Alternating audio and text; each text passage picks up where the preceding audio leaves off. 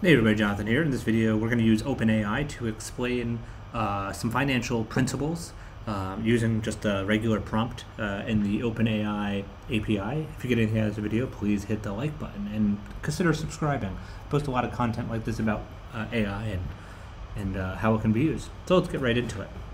So I had just asked OpenAI, you know, tell me some things about finance. Tell me some important uh, financial uh, formulas. And they're saying NPV, IRR, ROI.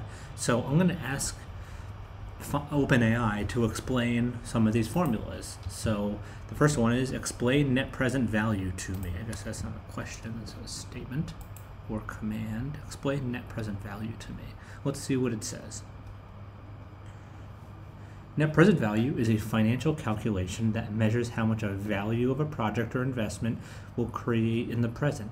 It involves comparing the expected cash flows of a project or investment with its initial cost. NPV calculates how much discounted future cash flows are worth today in today's money, taking into account inflation, taxes, and other costs. A positive NPV suggests that the project or investment is likely to generate returns that exceed its costs and typically a sign of a profitable opportunity.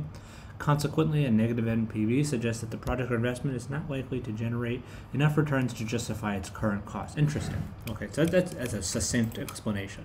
So let's ask it to give me an example of NPV with numbers and figures.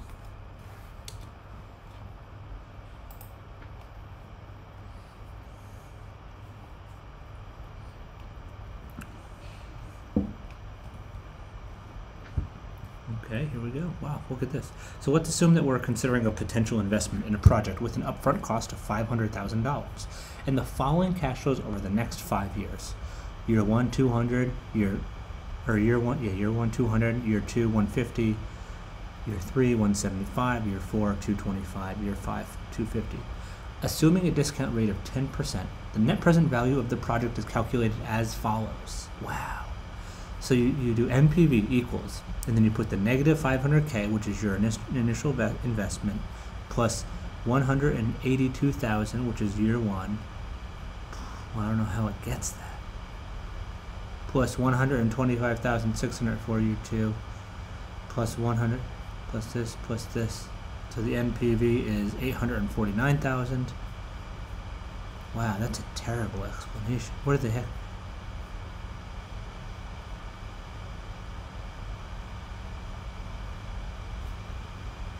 Where the heck does it get this number, these numbers from? Um, what if I take the temperature down a little bit?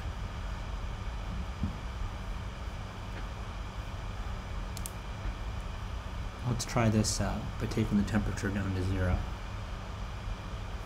Okay, this is much better. So if, if you have the temperature too high, it kind of can get a little wonky. You're considering investing in a product that requires an initial investment of $10,000. The project is expected to generate cash flows of 2000 per year for the next five years and the internal rate of return is 10%. Okay.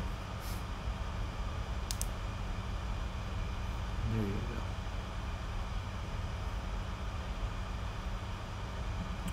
So here you go. Negative 10,000 plus, so that's the initial, plus the first year, two, 2,000 divided by 1.1 plus 2,000 divided by 1.1 times 2, which is uh,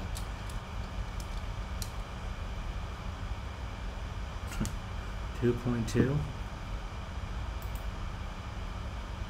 I think these are supposed to be cubed.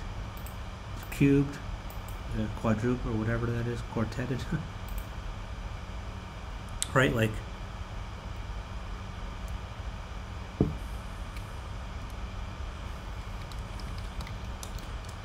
2,000 divided by 1.1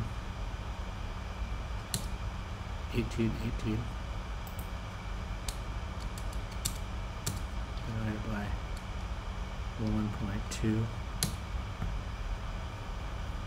16 see I get a different number there.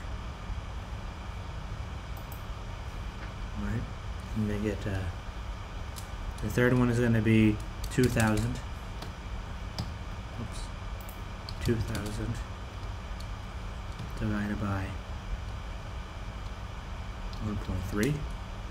Yeah, so those are supposed to be cubed. Um, there's a formatting issue here. They're not cubed, but these are supposed to be raised to the power of. Unreal. Yeah, so uh, I'd be a little skeptical of using OpenAI to teach me. I mean, you can't be having those basic mistakes. Am I not looking at something properly? That's a four. You know, that's a that's not raised to the four. There's supposed to be some sort of a caret.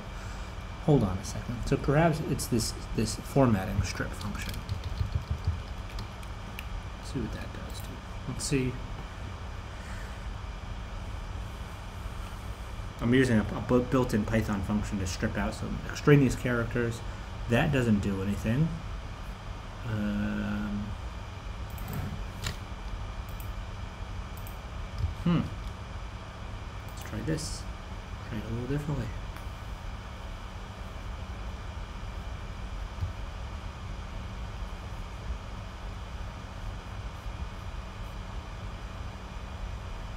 Still no. Still uh. I think it's returning some special characters that I might not be able to see. Yeah, that would make some sense.